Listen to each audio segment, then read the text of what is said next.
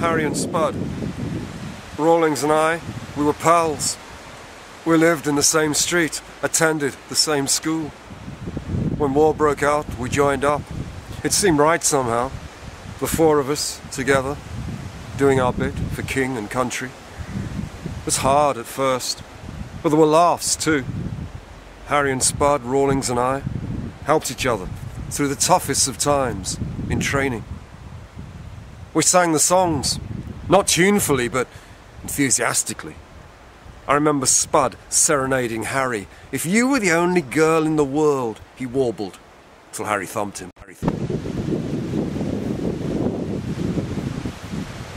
And laughter was the key to keep our spirits up when all we had to look forward to was mud, blood, and bullets. No idea why I survived and they didn't. One of the lucky ones. Kept my head above the parapet.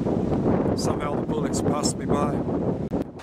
I've lived in the same street all my life, and every year the wife and I stand here on Remembrance Day while I say a prayer for Harry and Spud and Rawlings.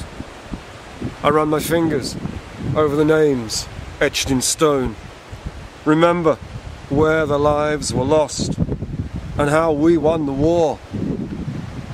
But at what cost?